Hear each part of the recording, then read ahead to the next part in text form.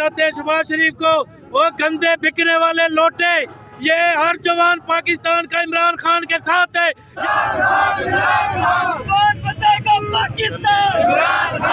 और हम ये पैगाम देना चाहते हैं, जो लोटा क्रेसी इस वक्त मुतहदा अपोजिशन कर रही है, ये नामंजूर है। हम आज़ादी चाहते हैं, हम बैरूनी मुदाखलत को रजीम चेंज के नाम से हम लोग इसकी मजम्मत करते हैं हम यहाँ पे इकट्ठे हुए हैं, मगर वो इमरान खान इस वक्त आवाम की दिलों में बैठ चुका है और अवाम ये समझती है कि वो अमेरिका ये समझता है कि वो हमें नीचे दिखा के, हम नहीं चाहते अमेरिका के साथ दुश्मनी, हम दोस्ती चाहते हैं, मगर हम लोग गुलाम नहीं रहना चाहते अमेरिका के मैं अमेरिका को एक पैगाम देना चाहता हूँ। ग्यारह साल आपने अमेरिका अफ़गानिस्तान के साथ आप लड़े हैं और अपना असला फेंक के आप चले गए हैं। आप गीदड़ हैं। अब मैं आपको बताता हूँ कि ग्यारह साल आप लड़ते रहे पाकिस्तान से, फिर भी आप असला छोड़ के भाग जाएँगे। और मैं ये कह रहा हूँ, किसी को ये शक है इमरान खान जा रहा है, इमरान खान कहीं नहीं जा रहा देंगे। फिर दोबारा लाएँगे इनशाला किसी का बाप भी उसको नहीं हटा सकता। से हम सिर्फ़ इतना जानते हैं कि आज हम यहाँ पर इमरान खान के लिए आए हैं।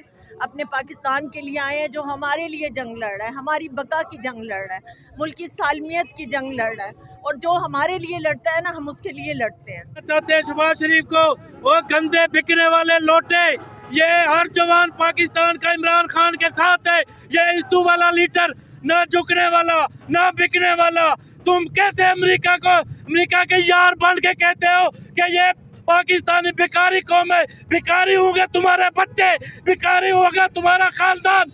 ये ना झुकने वाले हैं, ना बिकने वाले हैं, ये इमरान खान के साथ है। मैं अपनी पाकिस्तानी कौम से सिर्फ़ इतना कहना चाहती हूँ एताइड ला होती एताइड ला होती, उस रिस्क से मौत अच्छी, जिस रिस्क से आती है प्रवास में कोताही।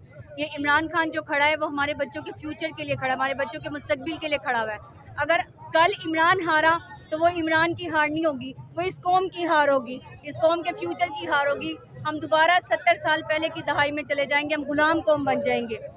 तो इसलिए मेरा सबसे कहना है सारी पूरी पाकिस्तानी कौम से कि ये टाइम है निकलने का। इस टाइम निकलेंगे हम उन्नीस वाला जो आज़ादी पाकि कायद आज़म ने आज़ादी की जंग लड़ी थी, ये हम दोबारा से हम अपनी आज़ादी की जंग लड़ रहे हैं।